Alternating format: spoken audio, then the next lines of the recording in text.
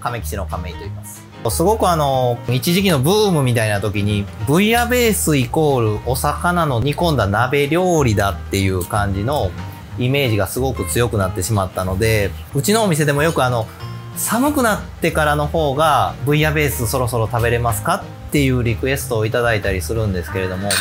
基本的には、えっ、と、南仏の料理で、これから少し初夏にかけて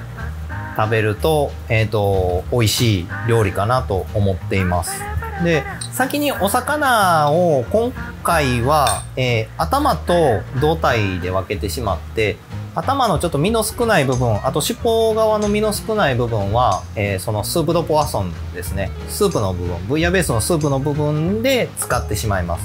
で、身がしっかりついているところは、その後ブイヤベースの具として使っていきます。で、こっちから出た魚のアラの部分ですね。アラの部分とお野菜と香辛料、お酒を炒めた後に一緒に煮出して煮込んでいく。スープを取っていく、出汁を取っていくっていう作業に入っていきます。で、そのスープが取れて、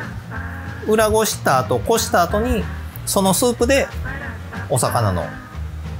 火を入れていきます。加熱、調理していきます。身の身の方っていうと。そうですね。身の食べていただく方を、この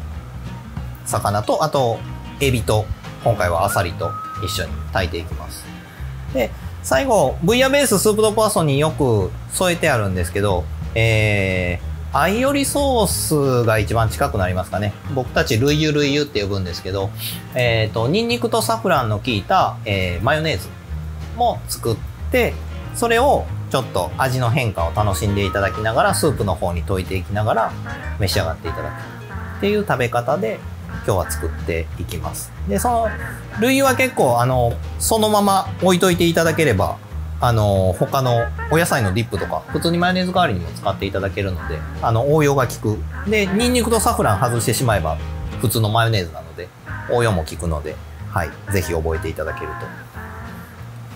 と、便利なソースです。はい。